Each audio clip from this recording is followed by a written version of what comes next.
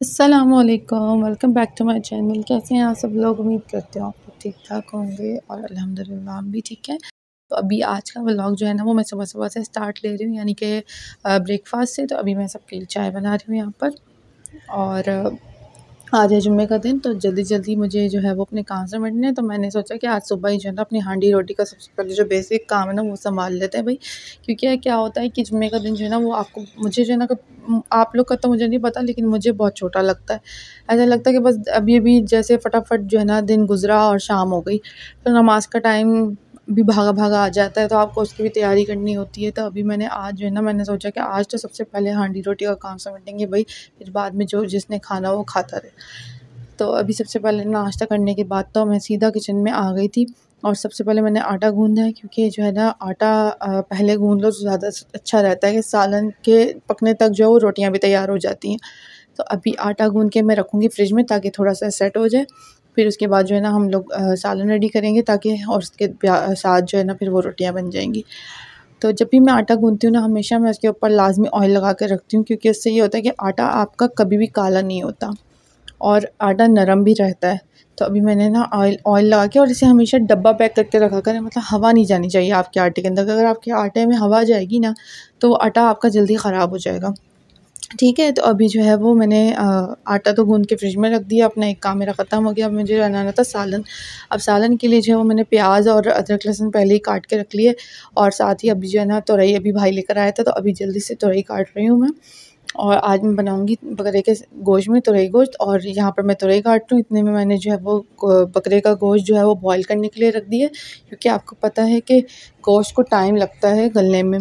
तो मैंने आज कहा कि भाई पहले मैं इसको बॉईल करूँगी, फिर ही मैं साथ बनाऊँगी अदरवाइज़ ये होता है कि थोड़ा ही गल जाए और फिर गोश्त ना गले तो फिर बहुत मसला हो जाता है।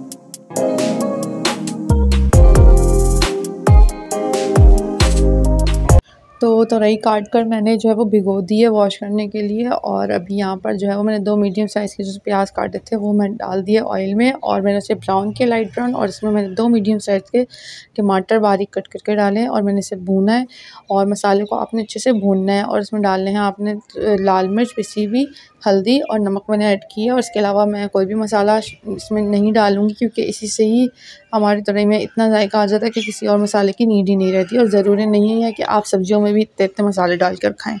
और ये देखिए बॉयल बॉयल हो चुका है अच्छे से गोश्त तो मैंने ये डालकर मैं मसाले में गोश्त को भून रही हूँ ताकि इसका अच्छा सा फ्लेवर आ जाए। और जैसे ही इसका थोड़ा सा ऑयल निकला तो मैंने इसके अंदर अदरक लहसुन डाला और इसको अच्छे से आपने भूनना है और फ्रेश अदरक लहसुन का तो आपको पता है कि जायका भी अलग होता है और उसकी खुशबू भी बहुत अच्छी होती है। और ये देखिए वॉश करके मैंने अच्छे से तुरई डाल दी है इसके अंदर। मैंने बारीक इसलिए काटी थी ताकि ये आराम से जो है वो जल्दी गल जाए, बहुत ज़्यादा टाइम ना ले।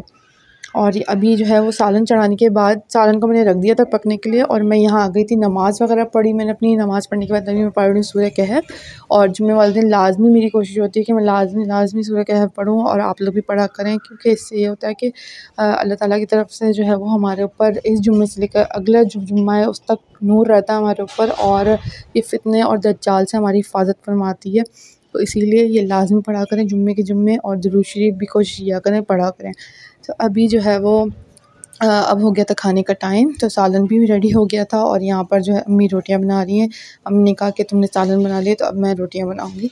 तो अभी हमारी कोशिश यही है कि हम लोग ज़्यादा से ज़्यादा रोटी घर पर बनाएँ। बीच में हमारे घर में रोटी आ जाती थी बाहर से और अभी भी आ जाती है अक्सर क्योंकि कुछ सालन ऐसे होते हैं जिनके साथ घर की रोटी मज़े की नहीं लगती मुझे बिल्कुल भी और घर वालों को भी तो हम लोग भी मंगा लेते हैं। लेकिन ये कि रोटी इतनी महँगी कर दी है, आप यकीन करें बीस रुपए की एक रोटी।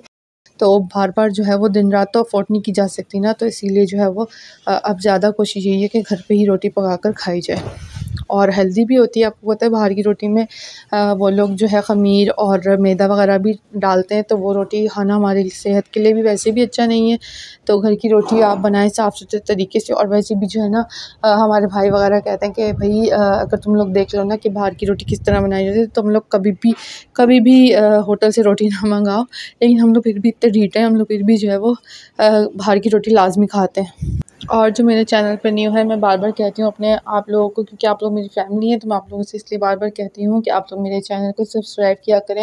हमारी वीडियो अच्छी लगती है आपको तो आप लाइक ज़रूर कर दिया करें। एक एक बटन दबाना होता है, सिर्फ़ वो बेल आइकन भी दबा दिया करें ताकि आपको आने, हमारी हर आने वाली वीडियो आप तक जो है ना पहुँच सके टाइम टू टाइम। और, अपनी फैमिली एंड फ्रेंड्स से ज़्यादा से ज़्यादा हमारी वीडियो शेयर करें। और अभी अम्मी जो है ना बड़ी बड़ी गोल गोल रोटियाँ बना रही हैं और अम्मी की हाथ की रोटी जो है ना वो तो मशहूर है, आप यकीन करें। सबको पता है कि अम्मी जो है ना वो अच्छी, बहुत अच्छी रोटी बनाती हैं। तो हम लोगों ने भी अम्मी से ही अच्छी रोटी बनाना सीखी, लेकिन अभी भी हम अम्मी की रोटी का वैसे मुकाबला नहीं कर सकते, जो सच बात है।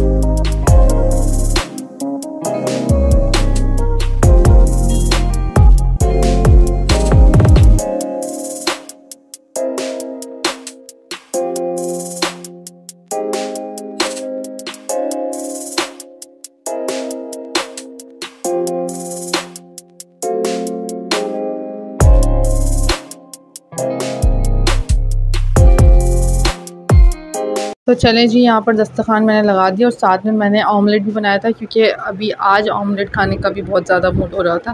तो नाश्ते में तो मैं खा नहीं सकी तो मैंने कहा कि चलो आज खाने के साथ ही जो है वो खा लेते हैं।